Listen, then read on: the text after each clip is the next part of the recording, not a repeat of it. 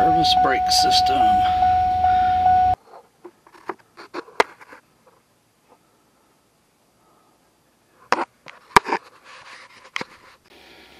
So you know how much I hate Torx bolts.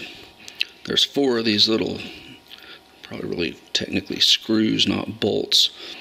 But they are sandwiched between the chassis of the vehicle and the part that you need to get. So you have to get very creative to remove them unless you want to completely disconnect all the brake lines there and have brake fluid spewing in your face while you do this. Reason 999 why I hate automotive engineers. Service brake system, almost for sure, is going to be right under here. Whether you're a Chevy truck or SUV, it's all going to be in the same spot. So if you roll under where I was pointing to, it's this component here, but it's just this little part on the top. So this is one of those just terrible designs. This is the component you're trying to get out. And there are four Torx bolts or screws on the top that hold it down. And then once you remove them, then you should be able to pry it up.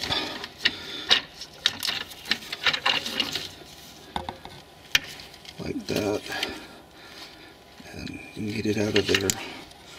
You see it's got this electrical, which I already pried off, and then this one here. I gotta figure out the trick to releasing it. It looks like you may just push there, but this red thing may be a safety lock too. Anyway, I'll try to get that out of here. Alright, so there's actually three harnesses. Again, terrible engineering. Why you need three harnesses instead of one on a part like this.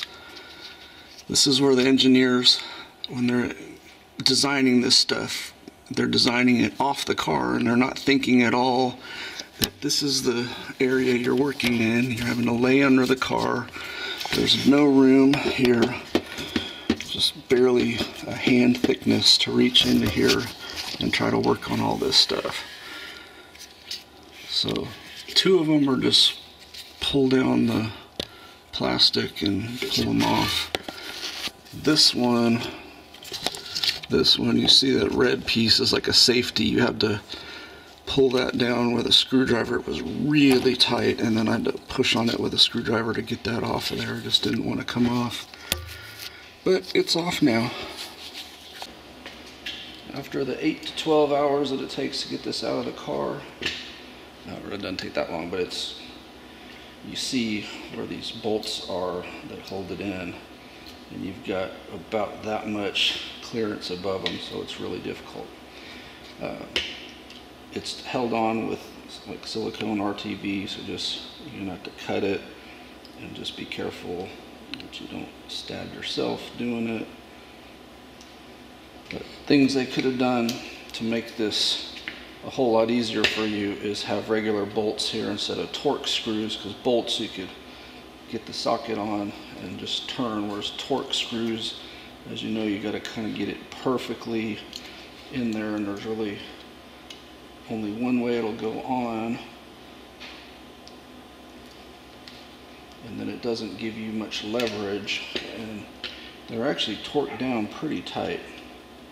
Okay, now you're 13 hours into the job, and you've gotten this top off, which is just RTV'd on apparently but they must have some special RTV that resists being cut by razor blades, resists being cut by knives, and of course any kind of prying is completely futile. So what you need to do is find where there's a bad solder joint and fix it. And there should be a relay solder joint on here. It's normally the relay that goes bad. I'm guessing right there is the relay solder points. None of them look particularly bad, but I'm going to go ahead and touch them up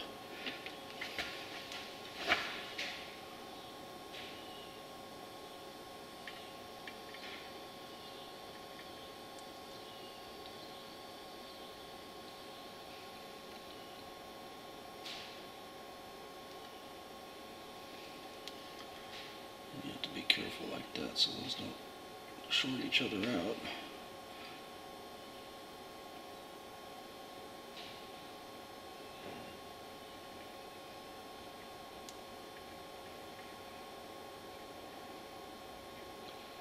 The idea is to heat up the post and then touch the solder to the post.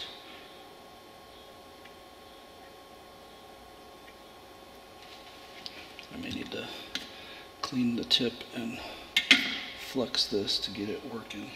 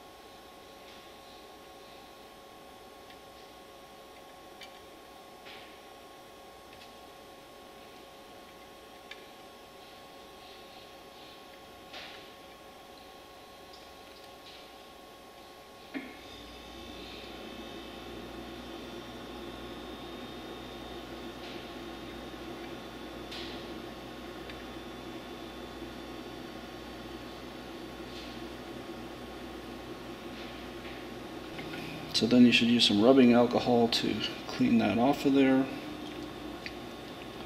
And then go ahead and RTV the cover back on. I brought it home and touched up those points there with the soldering iron at home which was cleaner and got hot and melted the solder right away. The one at the shop was obviously dirty and wasn't getting hot. And then you see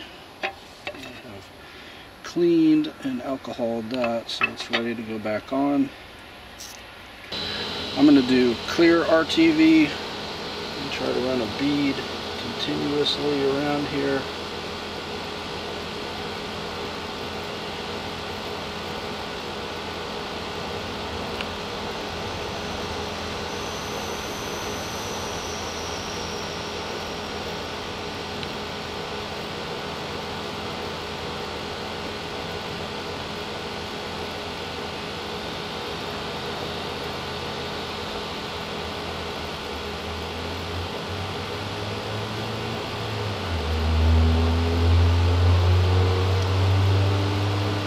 Touch up any spots that you have missed.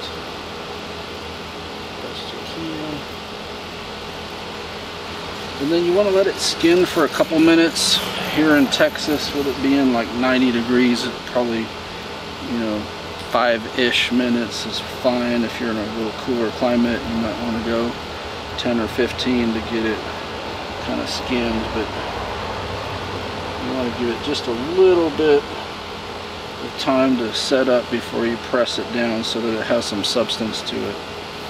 After a couple minutes have passed, it's kind of set up a little bit of a skin to it. I've got it lined up so I can just flip it over onto here, hopefully without destroying too much of the RTV.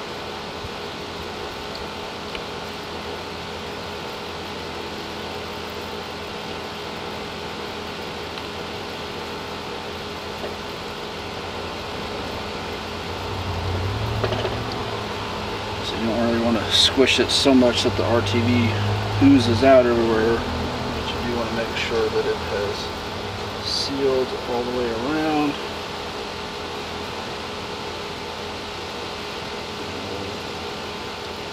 Let that dry overnight. I'm going to go ahead and reinstall this on the truck. My initial plan of only using one or two bolts has been foiled because this is a gasket right here, so it's going to need equal clamping force on all four locations, unfortunately. So that's going to be a pain in the butt. I'm not going to be able to film it. It it's just in a spot where you can't really see what I'm doing but basically I'm going to be laying this back over where it goes and then putting these bolts in and tightening them down again it's kind of a blind operation. Some places I can get that in there to use. Some places I was literally having to use something like this with the bit on it. So it's not in a great location for filming is what I'm getting at. But we shall see. I'm making an executive decision here. This looks like it's RTV it looks like what they did was put it on and just let it dry and are using it as like a semi reusable removable gasket rather than putting the RTV on and then mounting it to the vehicle. I hope that's right, but that's what this looks like. This looks like this dried before they ever put it on the vehicle. Because if I have to cut that off of there and put new RTV on, I don't know how cleanly it will stay because of, again, because of the location and trying to wiggle this into place. In the moment of truth.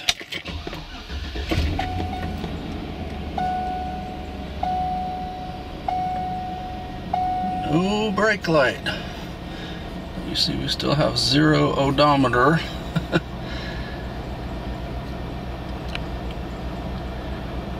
so the EBCM fix. Must have fixed that. I still have a really soft pedal, so let me do an ABS bleed and regular bleed and see if I get air out of anywhere